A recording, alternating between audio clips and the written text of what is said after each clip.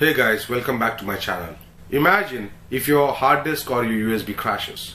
What are you going to do? In these situations, once you get connected to a ProDJ link wirelessly, you can actually browse all your music which is in your laptop through Rekordbox from a wireless LAN.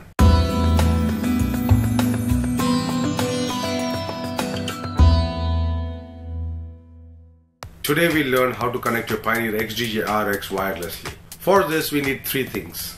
1. A Wi-Fi router. 2. A LAN cable or else known as the RJ45 cable. 3. Of course, a DJ system. Any Pioneer DJ system which has got Rekordbox. Now the main question, how to connect to a PC or a Mac. Connect the RJ45 cable from the mixer to your router.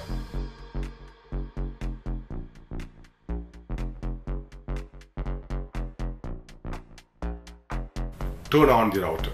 Connect your Mac or PC to the router's Wi-Fi signal. Open the Rekordbox DJ software. Now you will see a link button just below your Rekordbox software.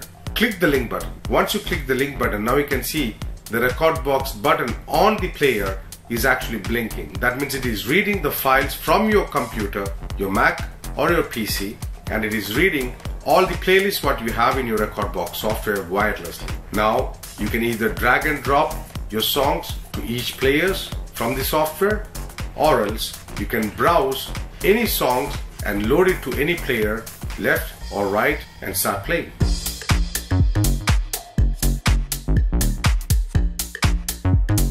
I hope this tutorial has helped you to understand how to connect Rekordbox Pro DJ. Do not forget to subscribe, like and comment to my channel. I'll be coming with more of these DJ tutorials in the future. So if you want to be notified, please subscribe. Thank you.